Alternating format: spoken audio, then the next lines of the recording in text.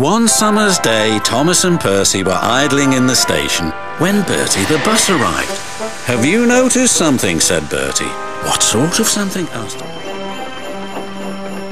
All the engines were fast asleep in the sheds as Toby ran silently into the yard.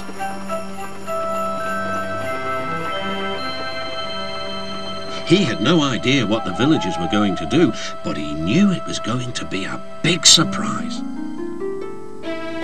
When the engines woke the next morning, they could not believe their eyes. The sheds had been repainted and decorated. Parcels lay everywhere.